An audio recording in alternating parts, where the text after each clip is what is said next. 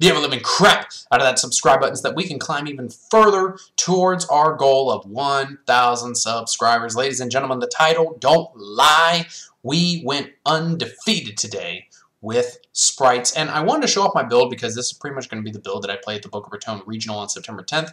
Also, if you're going to be there, be sure to come up and say hi. Be happy to meet you and talk and take a picture and talk about how Ultra Balls are nice because this one's actually really fluffy. All jokes aside, I got this from New York and it's really, really nice as a little side note there. So anyway, let's go ahead and jump on into our Spright deck profile. Real quick, I want to go through my matchups because it was four rounds at locals, and uh, it was meta-filled, so it's not just, oh, you top locals. Round one, we played against Tearlaments. Player didn't really know what they were doing. They were still learning the deck, so that was a nice little swift 2-0. Uh, round two, we played against Dinomorphia. He super polyed me game one, and I could have could have played around it had I ended on Elf, Toad, and Masquerena instead of Elf, Toad, and Red, and I could have had the Masquerena. I didn't play that correctly.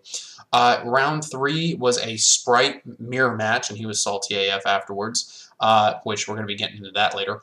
Uh, so yeah, 2-0, won that, and then round four we played against another Dinomorphia.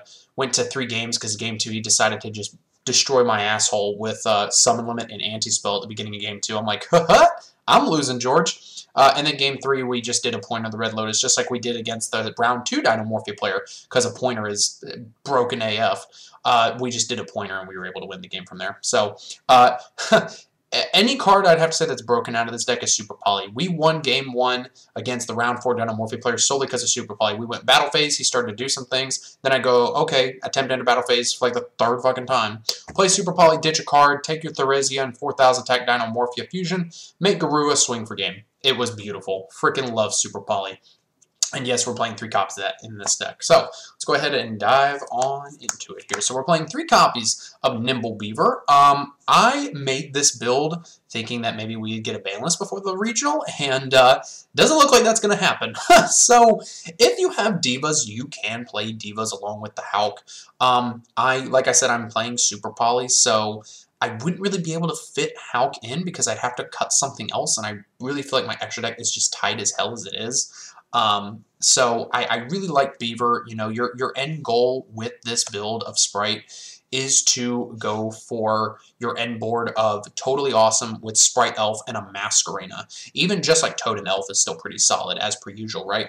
But the reason why we go for that board is because we don't want to get super polyed, and with my dog water luck in this game, my opponent's always going to have the super poly. So I play as if they're just always going to have the super poly or always have the Dark Ruler. Dark Ruler, you're going to destroy my board. It's fucking Spright. It happens. But if I can at least play around super poly and give you less options, the better. So Beaver is very good in that regard. It's also water that you can get back with Toad. So like sometimes if I don't really need to recur anything in my grave off of Toad, if I've got a Beaver in grave, I'll just take that, or I'll use Gigantic Spright if I went first to summon out Beaver and make my board that way. So that way when I get rid of Toad, I can use it to get back Beaver and have plays for the next turn. I don't have to worry about like anything that I top deck.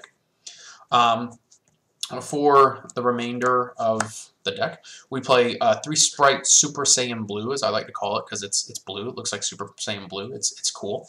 uh, it's it's a Stratos. What what can I say? And then we're playing three copies of Jet because the cards are broken.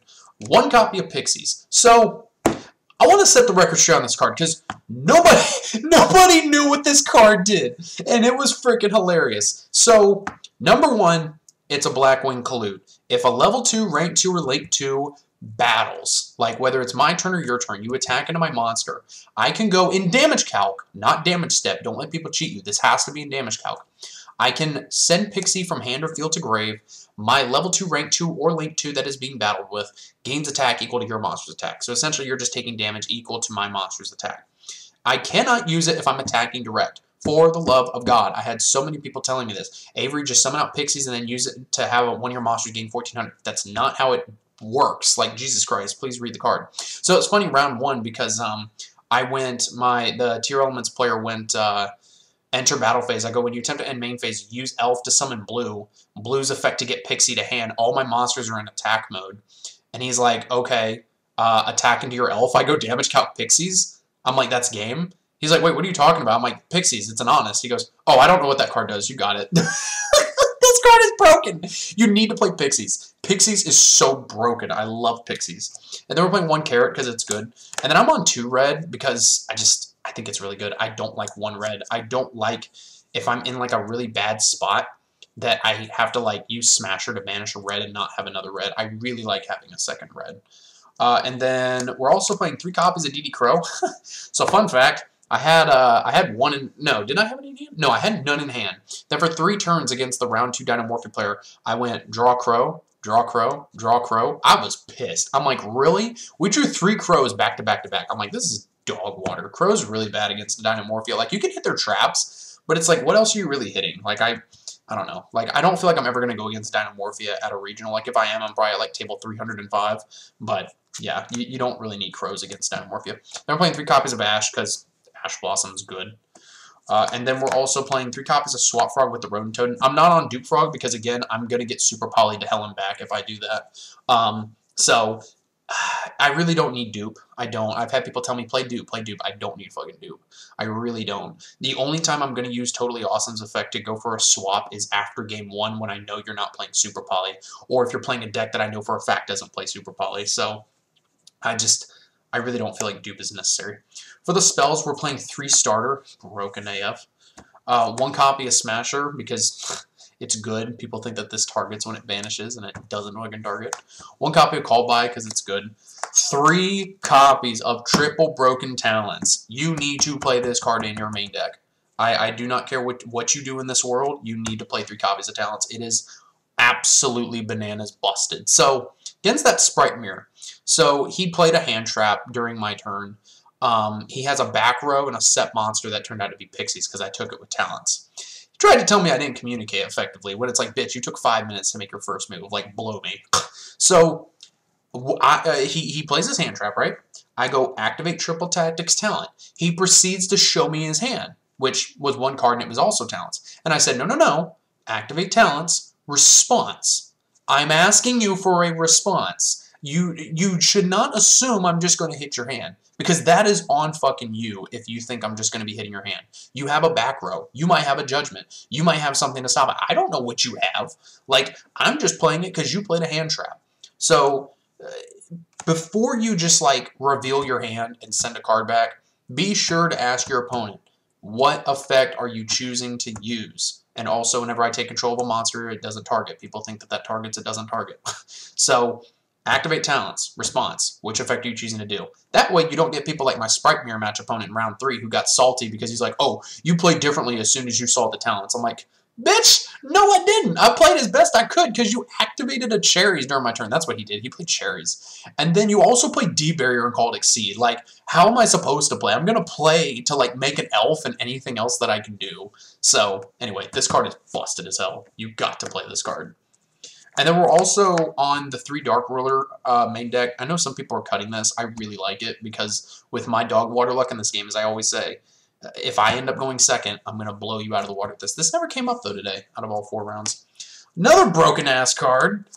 Three copies of Super Poly. this card is disgusting. It's so good. So in the round, what was it, round four, game one against Dinomorphia, I go enter battle phase. He's got like three or four or five back rows, something like that. He's like, okay, activate a trap, make a Dynamorphic Fusion, do plays. So he ends on Therizia. The Dynamorphic Fusion has 4,000 attack and like three back row. I'm like, okay, attempt enter battle phase again. Yeah. Activate uh, Super Poly Ditch Jet. Okay, take your stuff, make Garura attack for game. You're at 1825 life. He's like, yep. Every time I lose, they have the the GD, uh, what do you call it? The GD Super Poly. I'm like, I mean, it's, it's how it is, bro. It's how it is. Super Poly broken as hell. And then for the last traps, we're playing three copies of Imperm because it's good. I'm not on the enemy controller hype. I tried it. I just didn't really like it. It's mostly just good in the mirror match. So, yeah. Anyway, uh, on to the extra deck. We're playing two copies of Spright Elf. So, I, little fun fact, I pulled this elf and I swapped out my other one because it looked just like this one. But this one's actually a little bit lighter. Like, the ink didn't go all the way through. So, this one kind of looks like a little mini Ghost Rare while this one looks normal. So, anyway, little fun fact there. Uh, and then same with the Gigantic Spright. This one's a little bit brighter because that's the one I pulled today. And then, you know, yeah, we're playing two Spright. So it's it's, it's good. What can I say? Uh, one copy of Toad, one copy Sky Calv because it's good, one copy Cat Shark because I like the OTK, one Downerd and one Zeus. People have been telling me to cut Downerd. Downerd is just too damn good.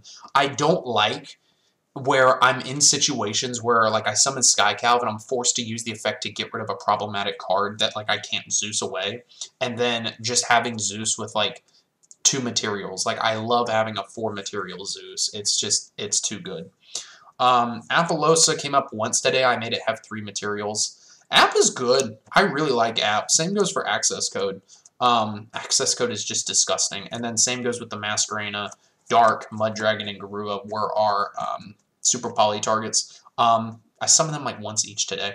And then fun fact, when I did do super poly on uh, the branded tearlaments player, I went super poly, take your Alubar and uh, Mirror Jade. I go summon uh, Mud Dragon, and he goes Alubar effect to target. I'm like, this can't be targeted. And he thought that the way that it worked was that it couldn't be targeted after you use its effect to change its attribute. No, that's not how it works at all. Mudragon, just at a base value, cannot be targeted by card effects. It's just when I change the attribute, it makes monsters of that same attribute untargetable and can't be destroyed by card effects. So, read read your cards, folks. I understand how like it can seem confusing because of how it's worded, but at its base value, even if you do not change the attribute, it can't be targeted. Um, and then, like I said, with Masquerena, the end board is usually like Toad and Elf with Masquerena, uh, just because it gives you options. So, really, really good. I really, really liked it. Garura is just disgusting. And then for the side deck, we're playing one Pankratops. This should probably be a red Resonator, but I mean, even if it were to be a red Resonator, it never came up. Like, I'm not sitting there for 10 minutes trying to figure out a turn. My round 3 Spright player fucking was, but uh, Pankratops is good for, like, anything that's rogue. Then we're playing three copies of Giant Ball Sacks. This card is so damn good. People have been telling me to take this out. I'm like, no, it's it's too good. It's way too good. One copy of Feather Duster because I don't like back row. Three copies of Evenly Match because it's broken. Uh, round two Dinomorphia player. I opened up double evenly. I go end of battle phase evenly. He goes Judgment. I go chain another evenly at the end of the battle phase. Or uh, on resolution, chain another evenly. He deck debied me and I still lost, but I'm like, it's it's good. Like, what can I say? Uh, and then three copies of Solemn Judgment and three copies of the broken new Trap Dust Shoot. so going first, I instantly throw in a red reboot, three Judgment, and three Appointer, and hope to God I open up at least one Appointer, preferably two. And this card's just like a Trap Dust Shoot. Like, this, there's a reason why Trap Dust Shoes, man. I don't give a damn about showing you my hand. I don't care if you know I have Ash Blossom and like a follow-up in, in hand because I, pointer is just so damn good. And then one copy of Red Reboot, like I said, it's just, it's insanity. So, guys, that is my Spright deck. Please let me know what you think down in the comment section below. Um, this is probably going to be the build that I take to Boca Raton. We went undefeated 4-0 out of uh, 12 people today, and it was mostly a meta crowd. Um, I really like how the deck functions. I think that there was some plays that I could have done better, um, but I still love how it performed. Super Poly is just disgusting in this deck. Like, if you're going to be playing Spright, I really feel like you need to be playing Super Poly because it's just so good. Anyway, thank you guys so much for watching, and I will see you in the next video.